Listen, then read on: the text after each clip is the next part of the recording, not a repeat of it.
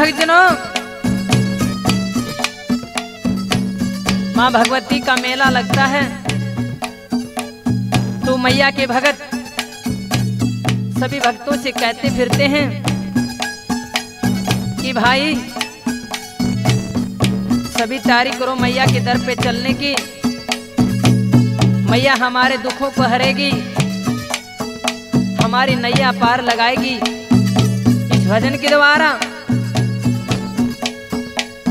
वो भगत। कैसे माँ की महिमा का गुणगान करते हैं और क्या कहते हैं? हाँ चलो चलो मैया के दरबार।